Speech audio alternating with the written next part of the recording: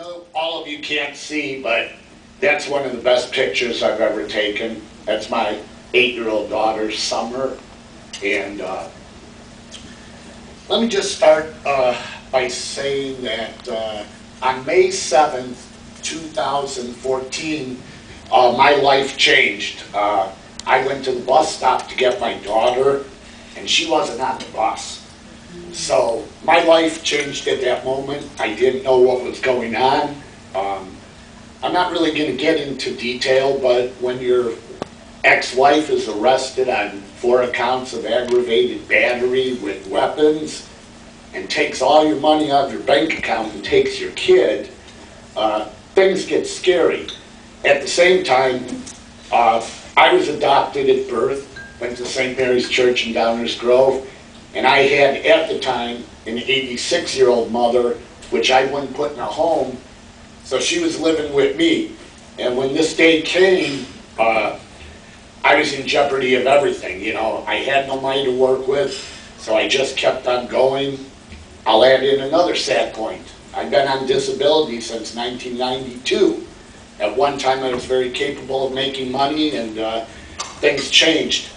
So when this happened in May, I think uh, it was probably around November or December that, uh, since I went to a Catholic school and everything like that, I heard of Catholic Charities, but I never thought I would need them for anything. You know, I thought that was for people who didn't have things going on. And like I said, I, I've been able to support myself most of my life, but I had to go to Catholic Charities. And the first person I met there uh, was Amy Palumbo. And now that I know who all you people kind of are and what the DuPage Foundation, let me explain that not only did Catholic Charities help me, but they understood my situation. You know, a lot of people come in for help, I'm sure, and you do what you can, but it may not be enough.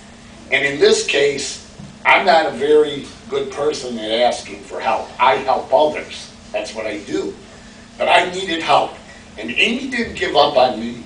She, uh, you know, uh, told me to contact Linda, uh, Love Christian Clearing, and Jackie at Salvation Army, and my own church, uh, Harvest Bible Chapel in Naperville.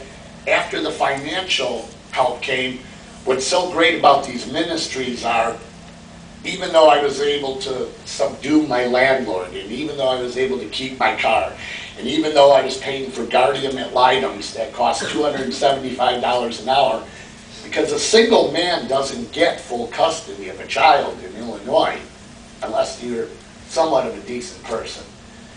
I needed more than financial support, and some of these organizations here are just incredible with also the follow-up, okay? Hey, are you okay? Hey, are you still standing, okay?